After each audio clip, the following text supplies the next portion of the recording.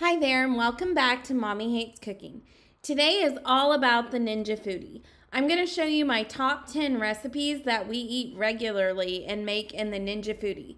All of these recipes are made using the Ninja Foodi multi cooker, which you can find a link for in the show notes as well. Let's get started reviewing all these delicious recipes. Hi there, and welcome back to Mommy Hates Cooking. Today I'm going to show you how easy it is to make a Ninja Foodi Mississippi pot roast. Now this one is going to be one that your whole family really loves, trust me. Let's get started with cooking this pot roast. So for the pot roast, you're going to need the following ingredients.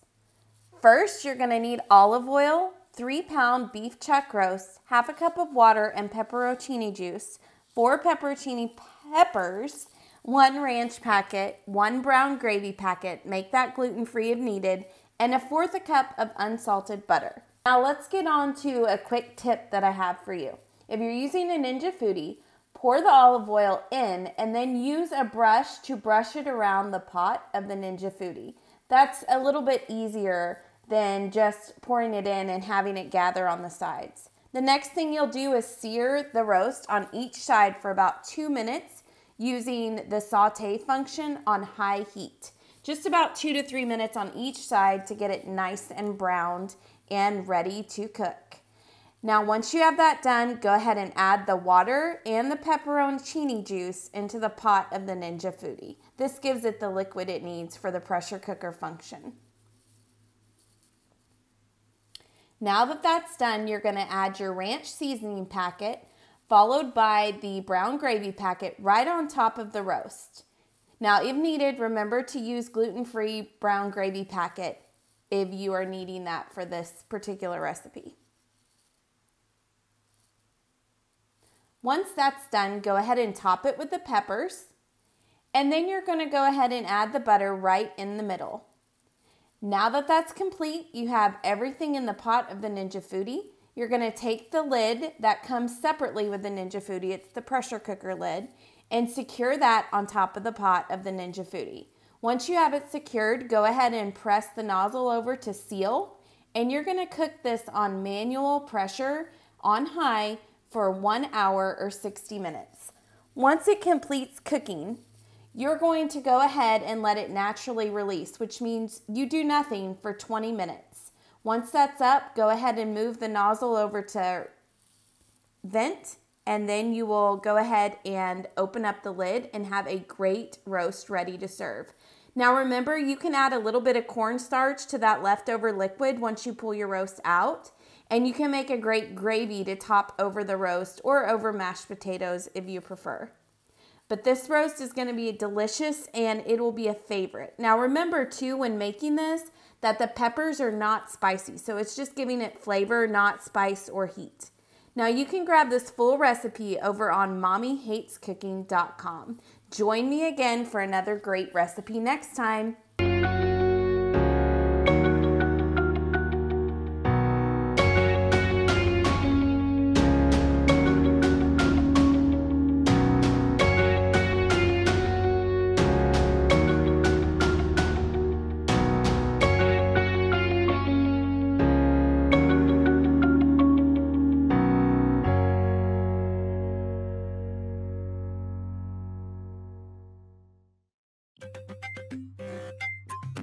Today I'm going to show you how to make these easy chicken fajitas in the Ninja Foodi or air fryer. They're very easy to make and even better to eat, so let's get started. This is actually one of our favorites for dinner. They are so easy, um, super quick. I love making these during the week and they are very good. So the first thing I'm gonna do is kind of go over the ingredients. Now, all of this information is going to be in the show notes below with the full recipe. So you can always check there to go back and look over things that I've said. It's all gonna be there. So the first thing we're gonna need are chicken thighs. Now, I highly recommend that you buy chicken thighs, not chicken breast. The chicken breast does dry out, at least that's what we found with using it in the air fryer. Um, the chicken thighs really hold their uh, texture, their taste, all of it. They just taste so good in the air fryer. So that's our preferred chicken to use. Now you can always test out chicken breast, but you may want to adjust the time just a bit. So once you have chicken thighs, we're gonna add different colors of bell peppers, onion, and then taco or fajita seasoning. So you can use your own seasoning, fajita or taco seasoning. I have some links to homemade versions in the post. And then also you can use just a store-bought taco seasoning. I use McCormick gluten-free taco seasoning quite a bit. So we typically will use that one unless I have a homemade one that I can whip up real quick. So once you have all that, we just build it into the air fryer. So we put it all in our air fryer basket. So I'm gonna go ahead and get started. Now the first thing we're gonna do is use our olive oil spray and coat the air fryer basket. So I have my Pompeian spray today, which is my favorite. It works the best. Um, it really has the same oil-like consistency as olive oil, so it goes on really well. Also, a spray bottle is a really good option too for olive oil, but you always want to have that on hand whenever you are working with the air fryer. It's a good oil to have handy. So first we're going to put in all these chicken thighs. I have sliced these up into long slices for fajitas. So I am just putting them right on into this air fryer basket. So now that we have those in, we are going to add our peppers. So you're just gonna wanna add, now it might look like you have a lot here, which I have a few seeds left, we're not gonna worry about that, but they do shrink up in the air fryer as they cook, so don't worry about it if it looks like you have a lot. So I'm just gonna add these in around here. Just kind of evenly on top. We're gonna stir it up here in just a few minutes. So once you have that in, you're gonna add in your onions.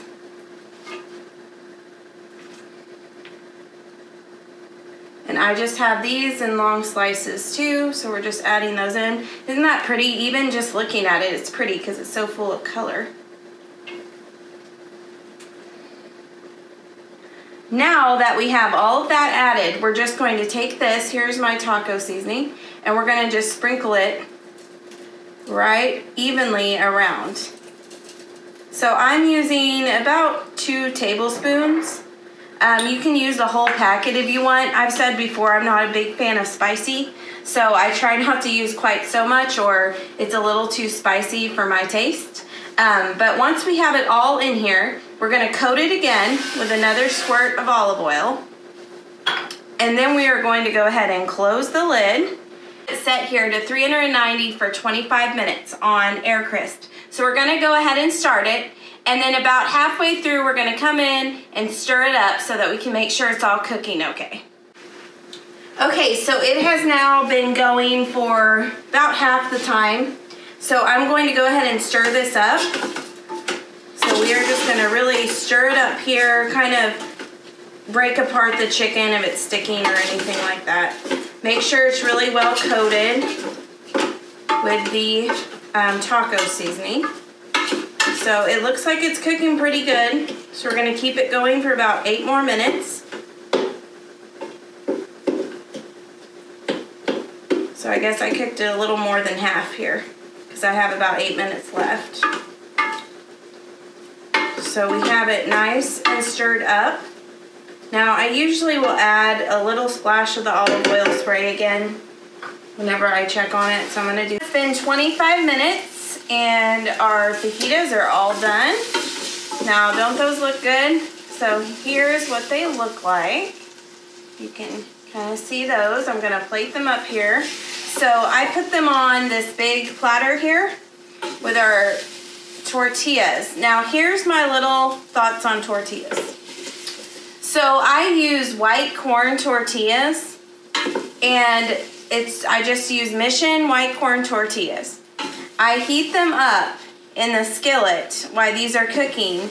I use a little bit of the olive oil spray and heat them up on both sides to, to toast the white corn tortillas. They are the best way to eat tortillas, in my opinion. Um, they taste so good with these fajitas. I think they're better than flour tortillas when they're heated up like that. Now, if they're just right out of the bag, I don't care for them that much. But when they're heated up, it just makes them taste so good. So anyways, and they're also gluten-free. So if you're going to eat these and you want to make them gluten-free, the gluten-free option actually tastes better than the flour. So as you can see, I have them all plated here. I like to do my chicken fajita meat on one side and the tortillas on the other. So these are all warmed up. And then I'm just gonna take some of this fajita meat and fill it right up into the tortilla. And then you have dinner. Now this is great served with rice, salsa, whatever you want to put with it. But that is how you make those chicken fajitas. Thanks so much for joining me today to learn how to make Ninja Foodi or Air Fryer chicken fajitas.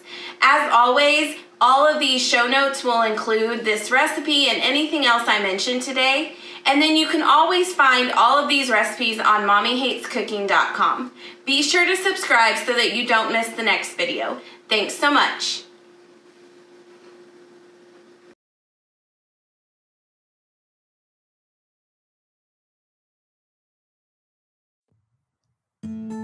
Hi there and welcome back to Mommy Hates Cooking. Today I'm going to show you how to make this Ninja Foodi cheesy broccoli chicken and rice.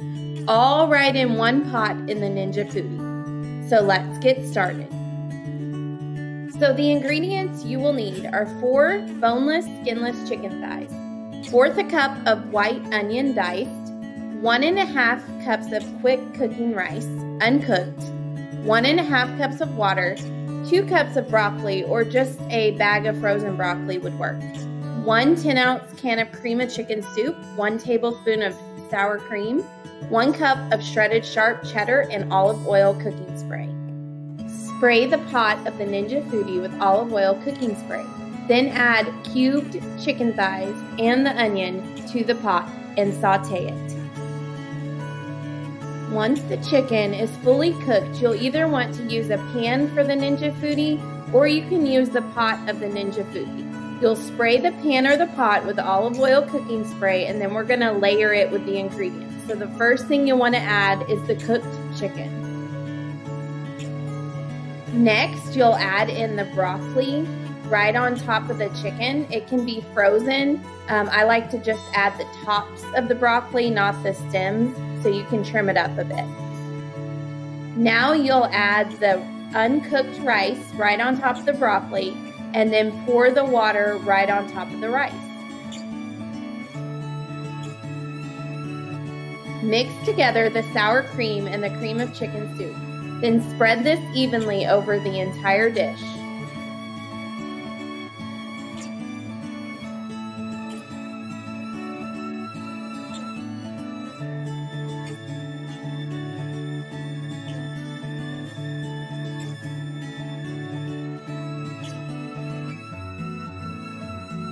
Now it's time to bake this.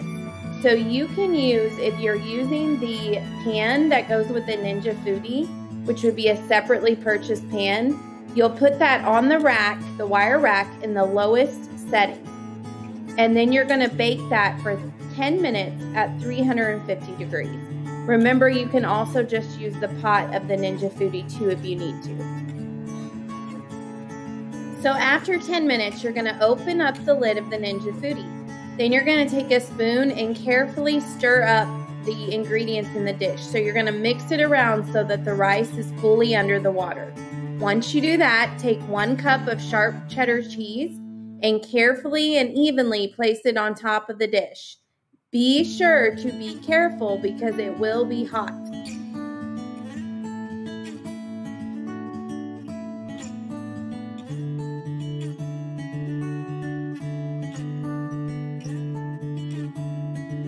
Once you've done that, go ahead and bake it again for 10 minutes at 350 degrees. After baking, carefully open it up and it should be all nice and crispy on top. Now remember your chicken should have already been cooked. So this baking at the end is just to get that cheese nice and crisp. It's best to let it cool for about five minutes just to let it thicken up a bit. And then you can carefully remove it and serve it. I would suggest using the mitts though because remember it is going to be hot when you're pulling this out of the Foodi. And once it's cooled, it's ready to serve and enjoy. Remember, you can always make this gluten-free too by using gluten-free cream of chicken soup, which is really easy to make yourself, or you can grab one at the store. Remember that you can find all of these recipes at mommyhatescooking.com. And be sure to subscribe and like this video so that you don't miss the next one. I'll be back again with another delicious recipe. Thanks so much for joining in today.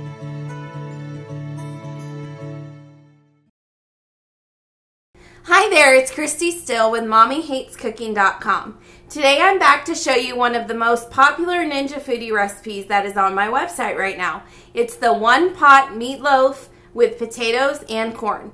So you can do this all in the Ninja Foodi. It does have several steps, so unlike a lot of my recipes that are really little prep time, this one is going to take you a little bit more for prep. So count count that into your cook time too, that you know that this is going to take a little bit longer than maybe a 30 minute meal. We like to do this one on the weekends whenever we're not really in a hurry. I'm not running from one activity to the next. So it's a great Sunday afternoon, Sunday evening family meal. Um, it's actually our kids' personal favorite. Um, this meatloaf was actually originally meatballs, a recipe that my aunt had sent me and really, the secret is in the sauce. So I'm going to show you what that sauce recipe is here in a little bit. But what I did is I took that recipe she sent me, and over the years, I've recreated it into a meatloaf that we really like using the sauce that goes on top of the meatballs that she had sent. And that really makes this recipe. And saying that though, if you have a personal favorite meatloaf recipe that's say in your family, you can always use the same method and use the meatloaf recipe that you prefer. So right now I'm going to start by showing you how to get this meatloaf prepared and then we're going to move on to some other steps. So right now I have, as you can see, the meat in here and then underneath it is the garlic, salt, and um, onion. So that's already in there. So that's the first step. Now we've got two pounds of ground beef in here. I'm going to go ahead and add to it two eggs that have been beaten. So you'll see those in here. Now we've got those set in there and then I'm going to go ahead and add two cups of old-fashioned oats. in my case I use gluten-free oats. Um, you can also use crackers or breadcrumbs but we prefer oats. And then I'm going to add in some evaporated milk. This is half a cup of evaporated milk. Now that I've got all that in there, I'm going to combine it to form the meatloaf. Now, I find it's best to use my hands. It just works easier to do. So, of course, after we get done, we're going to have to get our hands nice and cleaned. But to make this, I just combine it all with my hands until I get the meatloaf formed. Once the meatloaf is formed, we're going to put it on a sheet of foil that has been sprayed with some olive oil cooking spray to prepare to put into the Ninja Foodi. So the key here is whenever you're preparing this, make sure you get everything combined into one big loaf. So that's the first thing you need to do. So we are just going to keep getting this until all the oats, everything is mixed in. So you want to get it really well mixed so that, you know, your oats aren't just covering the outside. You want them fully mixed into the meat. So it does take a little bit to get all of this mixed together. So now that I have the meatloaf all prepared in the bowl, I am going to go ahead and spray the foil with some olive oil cooking spray, just a little bit so that it doesn't stick. So now I've got my meatloaf and I am going to just place it on this foil. And I've already kind of formed the loaf while I was working it in the bowl. Now the thing here is you need it to be a little bit skinnier and long to fit in your Foodi. So you're going to have to work this to get it to fit right. And then we also are wanting to put corn in it next to it at the end. So the key is kind of how you shape this meatloaf. Now, worst comes to worst, say you made it too big and you can't fit your corn in the Ninja Foodi. Just use your microwave. Uh, most of the corn you get can easily be heated in the microwave. So it's not really that big a deal. You should be able to fit it in the Foodi. But if you can't, just use the microwave and it'll be fine. So we have our meatloaf all prepared here. And now I'm going to wash my hands and get the Foodi set up and I'll show you how to get it all in there. Okay, so now that we have our meatloaf done, I've gone ahead and wrapped it in foil. And then the uh, first thing I'm going to do is put our potatoes in. So here's the potatoes.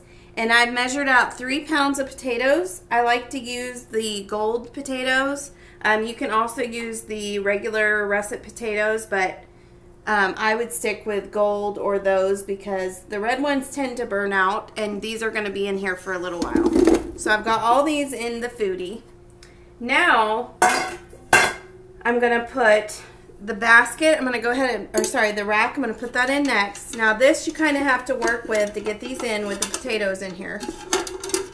So you just kind of have to move around your potatoes until you can get them in here, which tends to be a little bit tricky, but eventually, like that, you'll get it. So now I've got that in here. And now I'm to pour one cup of water over this so that there's some water on here. That way you don't get a burn notice for your potatoes. So now that I've got that in here, I'm going to go ahead and put the meatloaf right on top. So we're going to put that right in here. We're going to scoot it over and make sure it's nice and secure down and wrapped in foil, mainly to avoid having any um, meatloaf drip into the potatoes. And you may have to work with it a little bit to get it to fit right, like I mentioned earlier. Don't worry too much about the corn right now because we're going to do that last. So just make sure this fits for right now. And just kind of get a little bit of room here on the side, which is where we're going to put the corn in.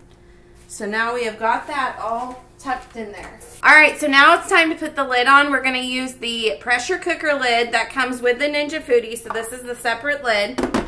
So you're going to go ahead and secure the lid. Now you're going to make sure it's on seal. So the nozzle of the lid needs to be on seal.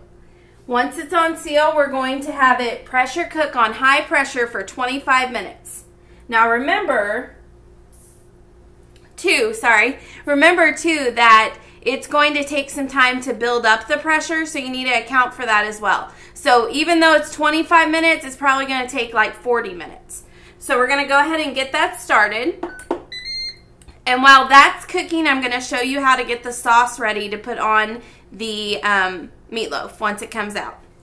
Okay, so now the Ninja Foodi is on and the meatloaf is cooking and the potatoes. So I'm going to show you real quick how to do the sauce. The sauce is very simple and I'm going to do it right here in the saucepan. So one day I called my mom and we have running jokes because she really, really hates to cook. She didn't really like cooking at all when we were kids. And now all of a sudden I've got her hooked on the Ninja Foodi, so she's always calling me about recipes, which is really funny because that did not happen when we were kids. Um, so anyways, I called her one day and she said, hey, I just put that sauce in the microwave which is very much my mom. She loves to use the microwave. But that's actually not a bad idea, especially when you're cooking this recipe because then you don't even have to mess with the stove. The key to the sauce is you just want the sugar to dissolve. So you can heat it up in the microwave for like 30 seconds, stir it up and see if your sugar's dissolved. And if it is, great, it's done. If not, just put it in for a few more seconds until it is. So that really is an easy shortcut if you want to skip the stove completely. Um, I still like to do it on the stove top. That's just how I prefer. So that's what I'm going to show you. So as you can see here, I've got my um, pan. I'm start, yeah, my pan. I'm just using a little saucepan and I'm going to cook it on low. So I'm warming it up. So the first thing you're going to put in here is ketchup. So I have a cup of ketchup. You're going to see all that go in here. Now you may have some sauce left the ketchup in here. I'm just kind of letting this saucepan warm up just a bit. So the next thing I'm going to add is packed brown sugar. So then you've got onion. So I've got some chopped onion I'm going to put in here. If you don't have onion, you can also use um, onion powder. So the next thing I'm going to add is some liquid smoke, which this gives it the smokier flavor. So we want to do that. Now I'm just adding, eyeballing it, but it's about half a tape, sorry, half a teaspoon. And now it's starting to bubble up on me, so I'm going to start stirring this. So we're just going to lightly stir it because I just want to get that sugar to dissolve. That's really all we're going for here. And then while this is cooking up here, I'm going to add just a dash of garlic powder just to give it a little more flavor. And then I'm going to keep stirring it until the sugar dissolves. Now this only takes maybe a minute to do. That's why if you do it in the microwave, it's real quick. And we're just going to get that sauce made. Now this is what I feel like really makes the meatloaf. If you don't add this sauce, I don't feel like the meatloaf has a lot of flavor. But most of the flavor is coming from the sauce. So in the past, I've had comments where, oh, we used um, marinara sauce or something. Well, then the meatloaf didn't have much flavor. Well, that's because the meatloaf that I'm posting on this recipe, the flavor comes from the sauce. So now I have it all done. I've released the steam and removed the lid. So that part's already been done. So the meatloaf at this point is cooked, but it needs to broil some, which is what we're about to do. The first thing though we need to do is lift this meatloaf out. Now this part you need to do very carefully with your mitts. And we're just gonna lift it out and I'm just gonna sit it here next to me to the side. And I'm going to get a bowl for the potatoes. So as you can see, the potatoes are all cooked down here. Now I'm going to take this pot out and just dump the potatoes right into this bowl that I have in front of me. Whoop, and I lost one. So sometimes they burn a little bit on the bottom. That usually can be avoided with the water that you're putting in. So I put in about a cup Rarely do I have them burn, but if they do, just scrape them off and put them in the pot. You'll still have plenty. If this happens, it's only like one. Um, but they normally will come out fine as long as you have enough water in there. Okay, so now I have the meatloaf on the rack. Now what I've done is I've carefully lifted this off like this. You can just lift it off. Now check your the rack because it may be hot and you still need the mitts. Mine wasn't hot, so I just flipped it around. So basically, you've got this meatloaf, and originally you have it sitting like this with the rack at the highest point, right? So now you're going to take the meatloaf off, and you're just going to flip the rack around because we want it now to be at the lowest point. So we've got the meatloaf in here. Now I'm going to put this in the pot. You can see where the potatoes left their mark a little bit. So now I've got this at the lowest point, and now I'm going to carefully scoot this over as much as I can just to fit it in here. And then we're going to put our corn right on the side. Now the corn is going to take a minute to fit, but what I've done is I go ahead and put it in foil, and I just squeeze it up there so that it fits. So you can see that. Now I'm going to open up the meatloaf like this. And I'm going to go ahead and coat it with my sauce that I did earlier. So I've got my sauce and we're just going to coat that really well. You want to be sure that it's fully coated. So I'm pouring this on here and then I just brush it on and it just needs to be fully coated. I use almost all the sauce to do this because I want it to be full of flavor. So we've got that on here.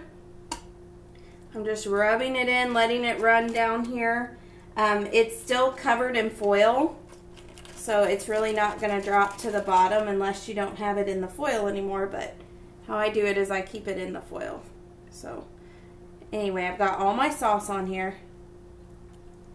And now we're just going to broil this. So I am going to just kind of move this over a little bit. I kind of dripped a little bit of sauce there. And I've got my corn, my meatloaf, all of it right here. And now, so let's get that on broil. So I've got it on broil and I'm going to reset the time here to five minutes. All right, so I did the broiling for five minutes. So now I'm just gonna open this up and stir up the corn. And I'm just doing this so I can be sure that it all gets cooked in here. So just stir it up. Now while the other is broiling, we can go ahead and do these potatoes. So I use a potato masher, just a hand masher. You can do um, a, a electric one too if you want. But I just mash them up with the hand masher as much as I can. So So we're just mashing those down. Um, they're usually pretty easy to mash because they're nice and soft from being in the pressure cooker.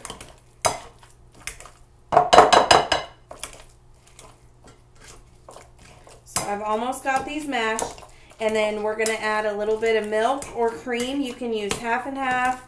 You can use cream. You can use fat-free milk, whichever you prefer. So I have these all mashed. And now I'm going to add my milk in. Now I'm going to add sour cream. Just a little bit to give it some flavor. I'm going to add in my butter. Now the butter should melt pretty quickly because you don't have, or you have hot potatoes basically. And then I'm going to add some garlic salt to taste. I eyeball this um, only because I've made these enough to know kind of how much I need.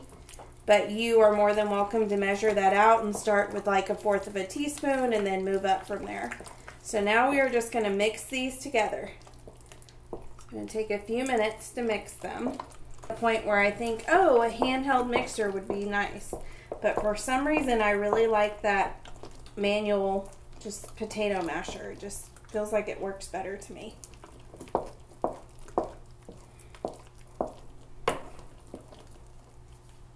So we got those all mashed and they'll be ready to serve with our corn and our meatloaf as soon as it gets done. So now you can see that the meatloaf is done, the corn is done, so we're just going to get this out of the Foodi and get it ready to serve for dinner. Okay, so this is usually how we plate this for dinner. Um, this can be served family style, so you can just put the mashed potatoes in, your corn, and then we have the meatloaf cut here. And as you can see, this looks delicious. And it gets kind of like a candied top with the sauce. So it just kind of coats right on top of there. I also like to add parsley on top too. Just makes it a little bit prettier. So you have all of your dinner ready to go and your family's to love it. So that is how you make the one pot Ninja Foodi meatloaf, mashed potatoes, and corn. So I have my meatloaf, mashed potatoes, corn, and they're all ready to go. Now, this recipe is a little more tricky than the other ones. It might take you a little bit longer the first time you do it, but after you make this a few times, you'll realize it's actually really simple and it won't take you nearly as long. Um, we love how it comes out, and again, like I said, we love the sauce on the meatloaf, so that's our favorite part, but feel free to use your own meatloaf recipe if you want, if you have a family favorite, and just use this method. It will work. So anyways, I want to thank you again for joining in. You can find this recipe and more on mommyhatescooking.com. I'll also put anything I used or mentioned below in the show notes too. I hope you tune in next time for the next recipe. Thanks again.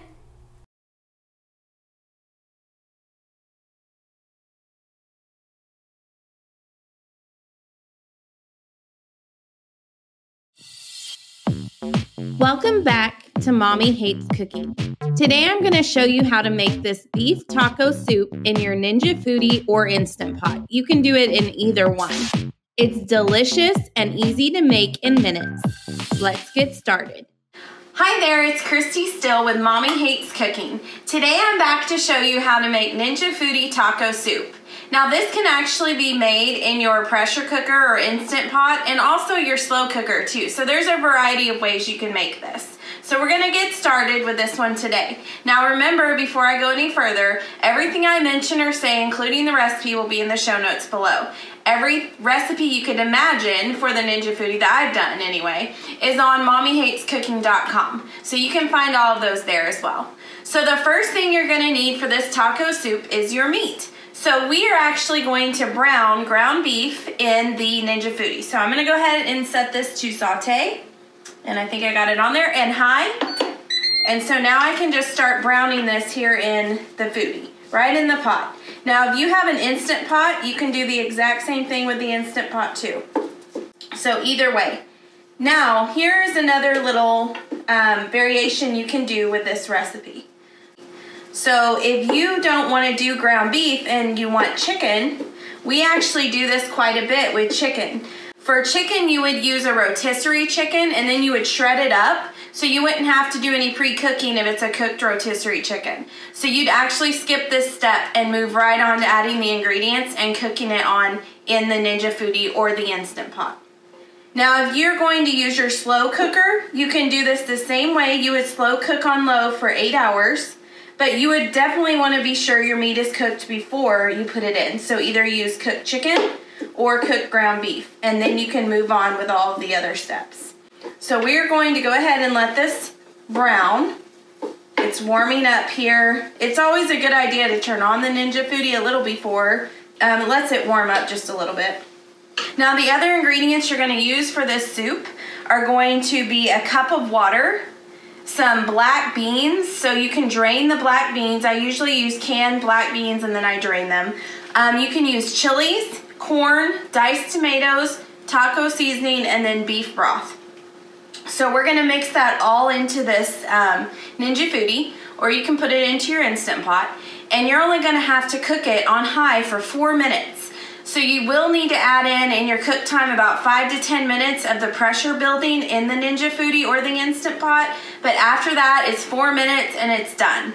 It's super quick and easy to make. It's one we like to make during the weeknights um, because I can get it on the table quickly.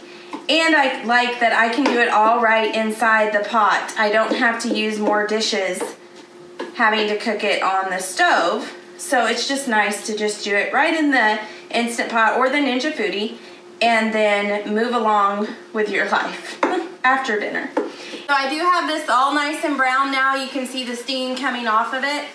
So another suggestion here or tip for you whenever you're cooking this, I would suggest lean ground beef. Um, that way you don't have so much oil, you don't have to drain it, and you can just leave it all in the pot. Now if you use 80% lean, you may have to drain it and return it. Um, another thing, you can also use turkey in this soup too. So really, you can kind of choose what protein you want to use in it. So now that we have the ground beef in here, it's all cooked and ready to go. I'm gonna go ahead and start adding in all the ingredients. So I am gonna add in one cup of water. See that here? Kind of cuts the steam for me. And then I'm gonna go ahead and add in my chilies. And you can just add this in in any order. It's not a big deal. So then I'm gonna add in corn. Now I have frozen corn in here. You can use frozen or fresh, either one. I've done it both ways. We just tend to always have frozen on hand. So then I've got some tomatoes. So these are diced tomatoes that I'm adding in here. And then here are my black beans. I'm gonna put those in. You can use canned or you can soak some beans, whatever you wanna do there. And then I've got my beef broth that I'm pouring in. This is gonna be kind of the base, help with the base of the soup. And then I'm gonna start stirring this up a little bit. So you can see it's nice and soupy and it'll end up with a little bit more by the time you're done. This usually, usually feeds about six. So now that I have that stirred up, I'm gonna add in my taco seasoning. So I'm using a package of taco seasoning. You can use homemade or you can use packaged either way. I usually use McCormick gluten-free taco seasoning and I usually will use, sometimes I'll use half the packet just because my kids don't really care for the spiciness of the whole packet. But this time I'm gonna use the whole one. So I'm just gonna mix that all together here. So now it's all stirred up. I mean, it already looks good and we haven't even warmed it up yet. So this is the fun part because it only takes four minutes to cook this. Now to cook this, you're gonna need the Ninja Foodi pressure cooker lid. So this is the lid that is separate. If you're using the Instant Pot, it's just your Instant Pot lid. So we're gonna go ahead and put it on here and secure it. You wanna make sure it is set to seal. So we've got that sealed. And now I'm gonna turn it on here and get this function set to pressure. I'm gonna go up to the top. So it's on high, we're gonna keep it on high and I need to change this to four minutes. So I'm gonna change this to four minutes and it will take closer to 15 minutes because it has to build up the steam. So we're gonna go ahead and start that. And then as soon as the four minutes is up, we need to do a quick release of the steam. So we're gonna quickly release it and then we'll have our soup all ready to serve. Okay, so this is just about to go off and then we're going to quick release the steam.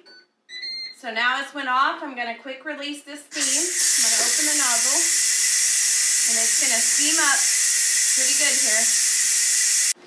All right, so we have this, all the steam out and I'm just gonna open this up here. So it's gonna steam up my camera really good again, but it looks fabulous. Now, a friend of ours taught us a trick several years ago with taco soup. So first I'm gonna top it with some cheese to serve it. But we used to actually serve this with corn chips or Fritos. And then she introduced us to Doritos with taco soup. And we haven't ever been able to go back to corn chips. Well, I guess these are corn chips, but we like the nacho cheese, not the Fritos. So I just serve it with some corn chips, or some Doritos, sorry, right on the side. And then you have your soup, and this is also freezer friendly. So you can actually take the soup, let it cool completely, put it in a freezer safe storage bag or container, and then you can freeze it in your freezer. Once you're ready to serve it, you just warm it right back up in the pot. You can put it on the slow cooker function and warm it back up or you could even pressure cook it for a couple minutes and warm it back up.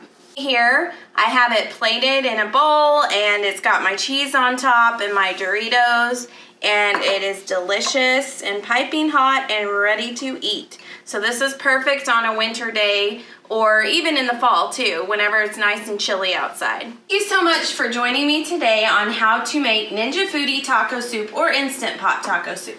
I hope that you enjoy this recipe. As always, you can find it below in the show notes along with anything else I mentioned. I'll link down there as well.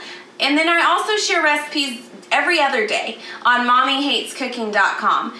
And I've been doing that for almost 10 years now, so you're gonna find plenty of recipes there too if you're in need of some new ones. And be sure to subscribe so that you don't miss the next video I'll be sharing with you. Thanks so much for joining in.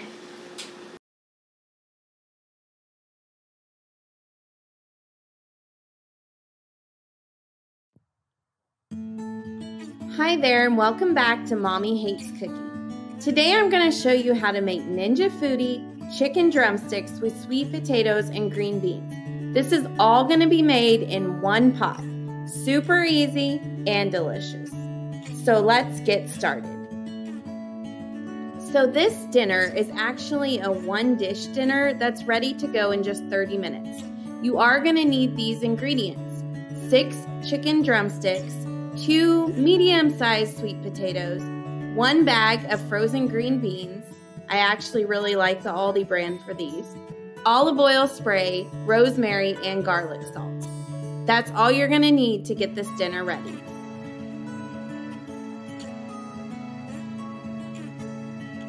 So the next thing you're gonna need to do is slice the potatoes. But before we do that, it's a good idea to go ahead and turn the Ninja Foodi on to air crisp for 390 degrees. You can just turn it on for about five minutes and then we'll be ready to use it anyway, but this will get it to start preheating. That way the cook time's not quite so long. Then we're gonna get started on slicing those sweet potatoes. Now it's time to slice the sweet potatoes. First, you're gonna cut them in half. Then you're gonna take each half and cut them again in half, which is making it quartered. Then you're going to just slice those up into small pieces. And then we're going to move on to the next step. Go ahead and grab those green beans so we can get them ready. So now that you have your green beans ready, go ahead and spray the pot of the Ninja Foodi with olive oil spray.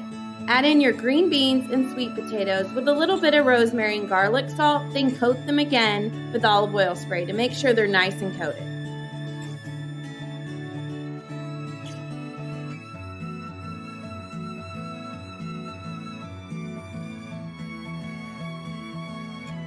Now this is where it gets a little tricky.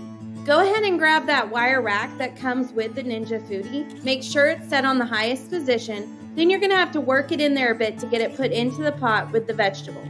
Once you have that done, we're gonna set those chicken drumsticks right on top.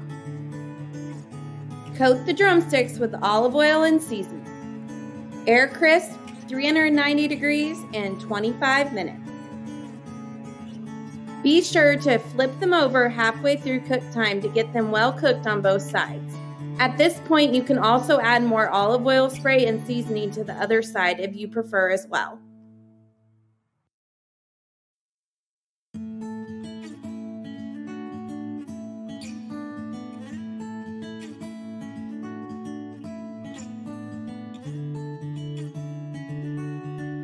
Get them to 165 degrees internal temperature. When you're done, remember to stir up those veggies to get them well coated in the olive oil. Remember, they're going to be crispy.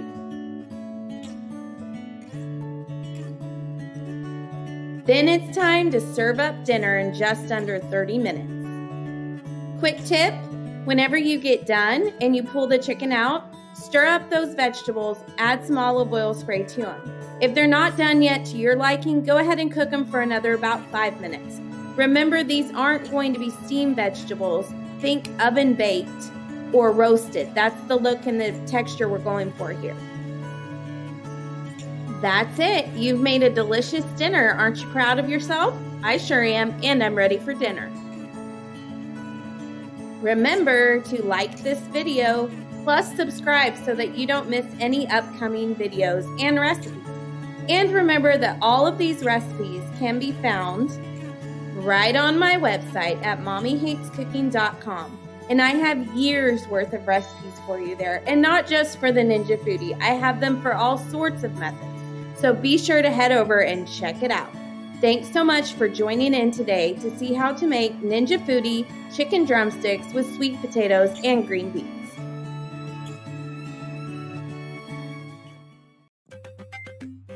Welcome back to Mommy Hates Cooking. Today I'm going to show you how to make Ninja Foodi baby back ribs. I can tell you these are probably going to be the best ribs that you've ever had. Just trust me on that. Let's get started. Hey, this is Kristy Still with Mommy Hates Cooking. Today I'm going to show you how to make Ninja Foodi baby back ribs. Now, the first thing I'm going to tell you is everything I mention here along with this recipe is in the show notes below, or you can find it on mommyhatescooking.com. So today to make the baby back ribs, we're going to use the air crisp function and the pressure cooker function with this lid on the Ninja Foodi. So we're gonna start actually with the pressure cooker function first. So in order to do that, you're going to want your air fryer basket or the air crisp basket that comes with the Foodi. Go ahead and put that in the pot. Here's the pot of the Ninja Foodi. So you've got all of that in here. Then you're gonna take half a cup of water and you're gonna pour it right in. So you need this water for the steam, to get the steam building. So now we have got baby back ribs. So I've found that baby back ribs tend to work the best and I cut them into four sections because I need them to easily fit in the basket. So the first thing I'm gonna do is spray the basket with some olive oil cooking spray. And then we're gonna get these ribs to fit in the basket. So we're just gonna go ahead and put these in here. And I just kind of work them around so that they fit well. Now, we actually have a pretty big smoker to smoke ribs, and these actually, in my opinion, taste better putting them in the Foodi than they do smoking them because they fall right off the bone. So now as you can see, I have the ribs in the Foodi and we are gonna take just about here's the barbecue sauce, about half a cup of barbecue sauce into a little dish with a brush.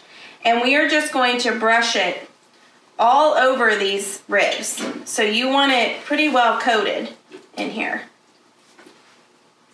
So I'm gonna brush it over each one.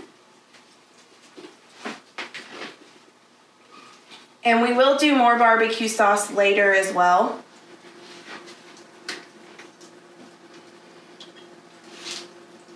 But right now, it's all about getting these lathered.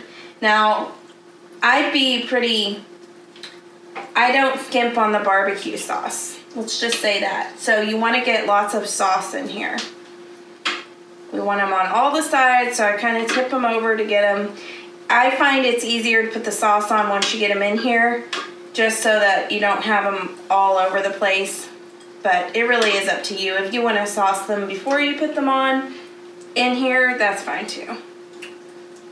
So whenever these come out, they're gonna be so tender that they just fall right off the bone.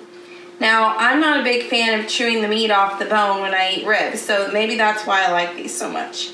I don't have to even mess with the bone, they fall off the bone.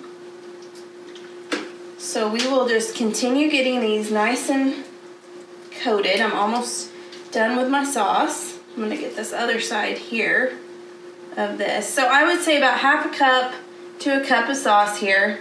I usually reserve some for after, so I'll put a little bowl of half a cup of sauce for now, because once they cook, we'll want to use a different cup of sauce so you don't mix the raw meat residue, basically. So we have got those nice and coated. And now we are going to get our lid for the pressure cooker. So now you want to use this pressure cooker lid, which is the lid that comes with the Foodi. So it's not the one that's attached. So we are going to go ahead and secure it onto the Foodi. And we are going to make sure that the nozzle is turned to seal for pressure cooking. And then we're gonna get this pressure cooker ready to cook. I have it set already. It's gonna cook on high for 35 minutes. So I'm gonna go ahead and start it. Now keep in mind, whenever you pressure cook, it has to build pressure. So this can take anywhere from five minutes to 15 minutes. So you wanna keep that in mind with your cook time. So once it builds pressure, we're going to release the steam and then we're gonna use the other lid. So I'm gonna come back on and show you that here in just a second. But first we're gonna let this build for about five to 15 minutes of pressure and then cook for 35 minutes. So our timer just went off and now we are going to go ahead and release the steam. So we're gonna turn this to vent and then we're just gonna release all the steam for a little while. Now I have the lid open and you can see the ribs are done pressure cooking so they look really good and they already look super tender, but we are going to now use some more barbecue sauce and coat these again before we air fry them. So right now, they just kind of, I mean, they look good, but they don't have that like crispy outer layer. So that's what we're about to get by using the air fryer. This gives it, the air fryer will give it more of that like it's been smoked flavor and texture. So you have to be careful whenever you are doing the barbecue sauce at this point because they are really tender. So they're already ready to fall off the bone. So we are just gonna add some more sauce here. And then we are going to put it on air crisp. So you don't have to pull it out of here or anything. We're gonna air crisp it for 15 minutes at 390 degrees and then they will be ready to serve and they will just fall right off those bones. So we have it all nice and coated. I used about another half a cup of sauce here. Then you can add some more sauce if you want whenever they're all done too. Just getting these all coated here.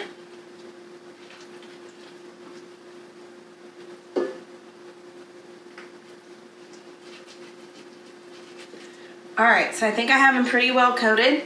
Shut this lid, the lid that goes on top of the Ninja Foodi.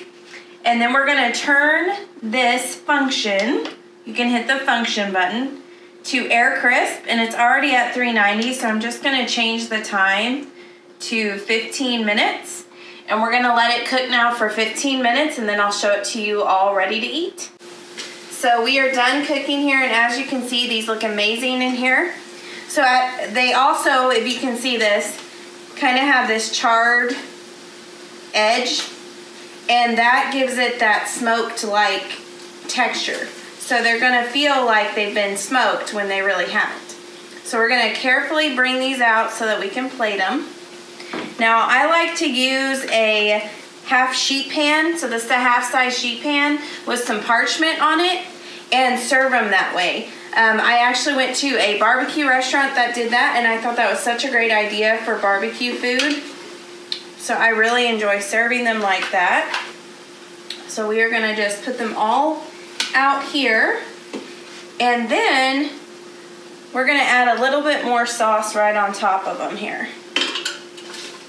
And trust me, you will never eat ribs any other way again because these are just delicious. Okay, so I have them plated now on the sheet pan. So I'm just gonna drizzle some barbecue sauce on each one here. And then we are going to brush it again like we did earlier. And your guests can just come and grab some ribs. You can cut them up more too, but the meat's gonna fall off as you cut it apart here. So I'll show you that too. So you can see here how it's together and this just falls right off. So I can barely, I barely have to touch it. And here's the bone there. And it just comes right out. So as you can see here, we have these delicious ribs and you are gonna love them. So I know you all are ready to make these Ninja Foodi baby back ribs now. So I have all the information you're gonna need down in the show notes below. And if you would subscribe, that would be awesome, and then you won't miss any other videos. As always, you can find everything on mommyhatescooking.com. Thank you, and I hope you join me again next time. Thank you again for joining me today on Mommy Hates Cooking. Be sure to subscribe to the YouTube channel so that you don't miss any new recipes. As always, check out mommyhatescooking.com for all the recipes that I mentioned here, as well as many more. Thanks again. Hi, this is Kristy Still with Mommy Hates Cooking, and today I'm going to show you how to make Ninja Foodi taco pasta in your Ninja Foodi multi-cooker in just minutes. Now, first off, I want to tell you this is my one of my first videos on YouTube of me actually talking and cooking. So bear with me, I'm learning the ropes with this. I'm really used to Facebook videos that are short with no talking, so this is a new thing. Um, but eventually I would like to get this up to sharing about two recipes a week with you. Um, as always though, I share recipes every other day on mommyhatescooking.com. And if you're looking for Ninja Foodi recipes, I have tons of them there, so you can head there and find more as well. I'm going to put all of this information in the show notes below, along with the link to the full recipe. So if you need any of that information, be sure to check out below for all of that. I'll put anything I say here, there. So first I want to start off and say I'm using the Ninja Foodi Multi-Cooker. Now there's a bunch of them on the market now that are all called Ninja Foodi. This is the one that has all of it. So it does pressure cooker, air fryer, slow cooker, baking, everything, dehydrates even. So I'm using an 8 quart, but you can actually make this with a six and a half quart or even an Instant Pot if you prefer the Instant Pot. So let's get started with making this. The first thing you need is one pound of ground beef. Now we're gonna put this right into the pot of the Ninja Foodi and I have it already warming up on the saute function right over here. So I'm sauteing this meat on high to get it nice and browned. Here's a quick tip with the meat. Whenever you get the ground beef, be sure to get something that's extra lean or you will need to drain it. If you do have to drain it, that's fine, but be sure to use the mitts to pull the pot out, drain it, and then return it back to the pot. Um, in this recipe, I usually try to use 93% lean ground beef. Once the meat is browned, you're going to add in the taco seasoning packet. I didn't have to add in any additional water, but if you need to, just add a little bit of water, about a fourth a cup or less, to the meat so that it mixes in really well with the ground beef. Um, you're, you're going for taco meat here. So I'm going to just add the pasta right into the bowl. So I've got it right here on top of my meat. And we'll put that aside. So now we are gonna add four cups of water. So you wanna make sure that this just coats the pasta. So it just comes right up there and we're gonna stir it in in just a second. So the next thing I'm gonna do is tomato sauce. So I'm gonna pour this right on in and some chilies. Now I'm gonna mention too, I don't like spicy food, so mine are mild and this isn't all that spicy. If you like spicy food, you can add in red pepper or really whatever you want to do. So now we are just stirring this up. Now that you have all of the ingredients in the Ninja Foodi, You want to stir it up and make sure that all of the pasta is under the water. It needs to be completely covered. It's nice and stirred up. So now you're going to use the lid that comes with the Ninja. So not the one that it's attached, this is the pressure cooker lid. You'll also use this for slow cooking. So if you're slow cooking, just a little side note, you're gonna want this nozzle to vent, not seal. So since we're pressure cooking though, we want it to be sealed. So I'm gonna secure the lid right here. So it's all nice and tight and on. And then I'm gonna make sure that my nozzle is on seal. And I've already got this set. It's gonna be on high pressure, so you're gonna move it to pressure for six minutes. Once it's on that, you're just gonna hit the button and this is going to build pressure for a little while. Now it can take five to 10 minutes sometimes to build pressure, so you gotta add that into your cook time. Once pressure is built, it takes six minutes. And with this recipe, or really any pastas, as soon as that pressure is built, the six minutes has cooked, and the timer goes off, you wanna quick release that steam, which means you wanna move this nozzle to vent and get all the steam out. If you don't do that immediately, when you're cooking pasta, you're gonna open it up and you're gonna have mush. And trust me, that has happened to probably the best of us. I, it's happened to me. I will go and do something, not hear the timer go off, forget about it, and come back and dinner has turned to mush. So you don't want that to happen. So you really wanna make sure that you listen for that timer and you get it quick released. So I'm going to be back here and show you what it looks like when it's all done. Okay, so now you can see it is cooking on high pressure. We're down to about five minutes. It took about eight to 10 minutes to build pressure, so I'd say this recipe takes about 30 minutes to make from start to finish, um, with including that time in there. So I thought while that's cooking, I'll go over a few quick questions that I've got on the Ninja Foodi. Um, one is how does it do all of these things? It's a multi-cooker, but how does it work? So I just wanted to go over some real quick things. If you're doing slow cooker recipes, like I said earlier, you'll use this lid that's on it. It's the additional lid that comes with it, but you'll put the nozzle to vent. Once it's on vent, you're gonna just simply put the dial, or if you have the buttons, I used to just have the buttons on my other one. You'll set it to slow cooker and then you'll put it on eight hours or four hours, whatever the recipe calls for. So the great thing is that with this, you can actually use any slow cooker recipe that you love and just make it in here. It's going to work exactly the same way as long as you use the slow cooker function and the right lid that you're supposed to use for the slow cooker. So it's super easy. We use this all the time for soup. Um, I also love taco soup in this which I'll leave a link to that in the show notes as well. So the great thing with taco soup is you can do it as the slow cooker, which you can cook the meat just like I did for this recipe, then add everything in, and then you can put the lid on for slow cooker. Or if you're in a pinch for time and you get to five o'clock and you're like, oh my gosh, I didn't put anything on for dinner, you can cook the meat, add all the ingredients, stick on this lid, and high pressure for about four to five minutes and you'll have the soup ready to go. So I mean that takes less than 30 minutes and your dinner is ready. So it's super easy to convert the soups to slow cooker or to pressure cooker, either one. So that's really a good option.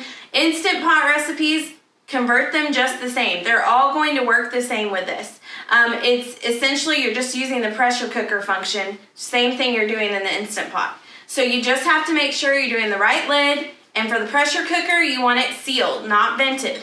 And the other key there is watch the recipes because some of them will say slow release. That means you just let it naturally release. Um, you don't move the nozzle. If it's quick release, like for this pasta, we're going to quickly release this. So we're gonna move the nozzle as soon as that timer goes off and get that steam out of there so that our dinner doesn't turn to mush. So the other option you can do with this is the air, air fryer, the air crisp is what they call it. That is my personal favorite. That's what really sold me on this. Um, this is the lid for the air fryer or air crisp. And you can make so many things with the air fryer. One of our favorites is chicken fajitas. Um, we put the chicken in there. You don't have to cook the chicken because it's going to cook in the air fryer. Peppers, everything you want. Turn it on in the air fryer for about 15-20 minutes and it's ready to go. So that's one of the things you can do as well um, with this.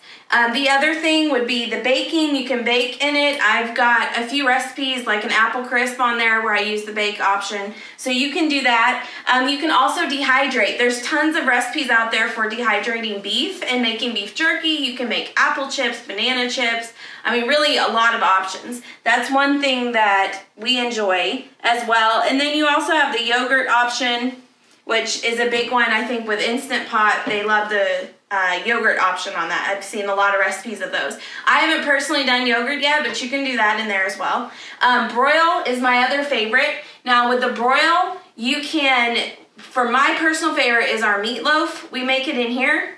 What I do is I put it in the pressure cooker and then I will do the air fryer and broil so that it gets real crispy on top and it's so good. So anyways, that's another recipe that you'll find on my website as well. But I just kind of wanted to go over a few of those questions um, that I've got is just how does it actually work? Um, we love it. I've literally gotten rid of every other appliance that I have except for the coffee pot. And I actually do use the Ninja coffee bar. Um, that's my favorite coffee pot too. So I really like their products for some reason, and that's not sponsored. I just like them. Um, anyways, but that's kind of what it does um, in a nutshell. But if you ever have questions, you can always ask me or leave me a comment, and I'll try to get back and answer you as quickly as I can.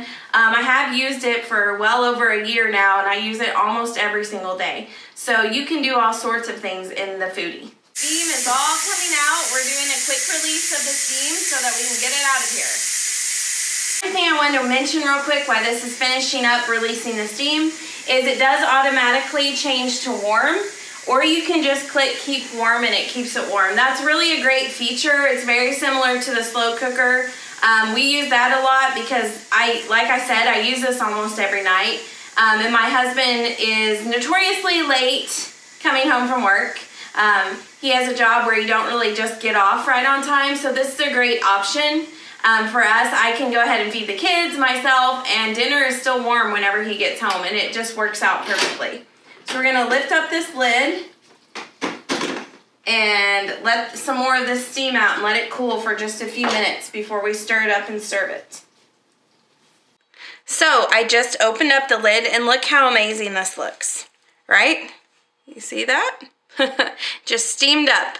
But in six minutes, roughly, we have this delicious pasta that is ready to eat. So we are going to just serve it up with some cheese and call it dinner. So we have our plate of delicious taco pasta that my husband and I are actually totally ready to eat right now. So this is great to feed the family and I, like I said, I will be back um, with another video. I'm hoping to get that up later this week. And I'm thinking it's to be for Ninja Foodi um, bacon wrapped jalapeno peppers, which will be perfect for all the football games and things coming up. Um, I'm also to share one on spinach dip as well that you can make in the Ninja Foodi. It's spinach artichoke dip. And it's amazing. You can make it in the oven, but I've recently discovered you can make it even quicker and easier in the Foodi. So be sure to check out mommyhatescooking.com. That's where all my Ninja Foodi recipes will be, along with every other recipe I've done. I've actually been doing this for 10 years, so you'll have recipes for days. So thanks again for joining me. See you next time. Thank you so much for joining in to this video by mommyhatescooking.com. Be sure to check out the show notes below for all the important links and details about this recipe. Thank you and join me again soon. Hi there and welcome back to Mommy Hates Cooking. Today I'm going to show you how to make Ninja Foodi Blueberry Crisp. It's very easy to make gluten-free too if that's a need, but it's totally up to you. Let's get started. The first thing we're going to do is create the topping. For the topping, you'll need the two cups of blueberries, maybe a little bit more. We're going to cover the whole bottom part of the Ninja Foodi pot. Half a cup of granulated sugar, half a tablespoon of flour or gluten-free flour, one teaspoon of ground cinnamon and nutmeg, and then half a cup of water. First, you're going to start by pouring the blueberries evenly in the bottom of the Ninja Foodi pot to cover the whole thing. Now you're going to combine the topping ingredients. So combine the sugar, the flour, the cinnamon, nutmeg, all into a small bowl. And then you're going to pour that evenly over the blueberries. Once you have that evenly over the blueberries, go ahead and evenly pour that cup of water right on top. Now we're going to do the crumble ingredients. So you will need one cup of old-fashioned oats or gluten-free oats, one cup of flour or gluten-free all-purpose flour, one cup of brown sugar packed, a fourth a teaspoon of baking powder and baking soda, and then half a cup of butter softened. Now you're going to combine all of those ingredients, mixing it together well, and then adding the softened butter last. I find it's easiest to do this with your hands and mix it all together because you're going for a real crumbly mixture here. So you just kind of want the butter worked in, not melted, but softened because we want it crumbly.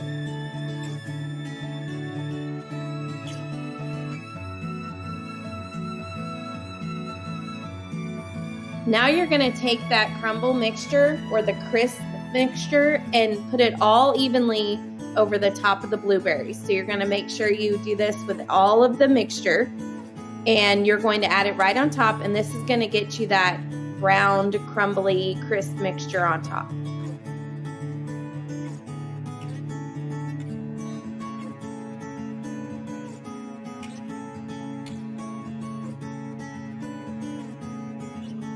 Right before you shut the lid, you can spray it with a little bit of coconut oil if you prefer, the coconut oil spray.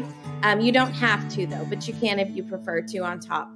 Once you shut the lid, you're going to set the Ninja Foodi to bake function for 40 minutes at 350 degrees. Now remember for this, we're using the lid that comes with the Ninja Foodi. It's attached to it. After 40 minutes, you should open it up and have a nice brown topping that's sitting on top of those cooked blueberries. We love to serve this with a side of vanilla ice cream or frozen yogurt. It's the perfect summer dessert. I hope you enjoyed learning how to make Ninja Foodi Blueberry Crisp. You can also do this in the oven too. There are recipes for that on my website, mommyhatescooking.com, as well as the full recipe for the Ninja Foodi Blueberry Crisp. Thanks so much for joining me, and I hope you join me again.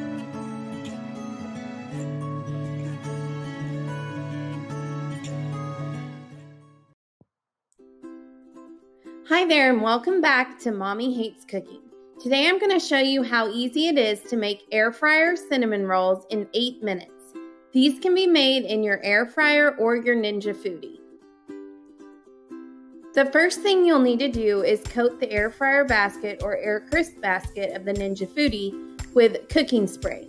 I usually use coconut oil cooking spray for these cinnamon rolls, but you can also do olive oil cooking spray too.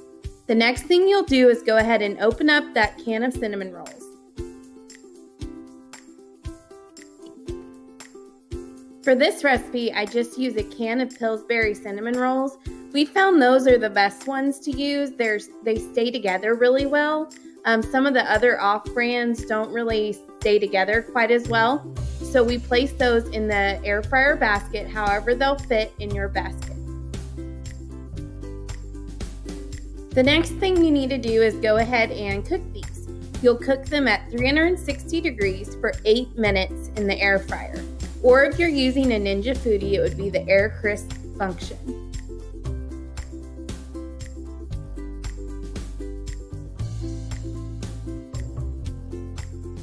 Now remember with the air fryer, they all heat a little bit differently. So I would normally check on these around six to seven minutes to see if they're done for your air fryer. Mine always takes eight minutes. Um, sometimes you may need to add a minute or two or take away a minute or two depending on how your air fryer heats up. In eight minutes, they're done. They're going to be golden brown on top and nice and soft inside. Once they're done, you can carefully remove them and get ready to ice them. And that's it. You've got them all done and they're ready to serve in just about eight minutes. This is one of the easiest ways to make cinnamon rolls. You can find this recipe on airfryerfanatics.com and mommyhatescooking.com. Both are full of delicious recipes.